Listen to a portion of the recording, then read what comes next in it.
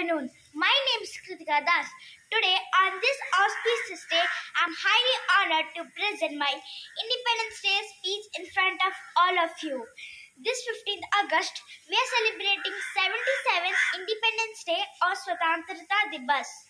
On 15th August 1947, India got its freedom, ending an almost 200 year British rule in the subcontinent who in Born before 1947. It had indeed been a difficult task to fight against the Britishers. Independence Day is not the great day to celebrate freedom, but also to remember those heroes, those freedom fighters. They bravely fought for 200 years. We must remember them and honor them.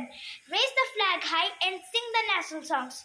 Do not put the flag down. Do not tear the flag. Freedom is very important, so keep it safe. With this, I end my speech. Thank you and a very happy Independence Day.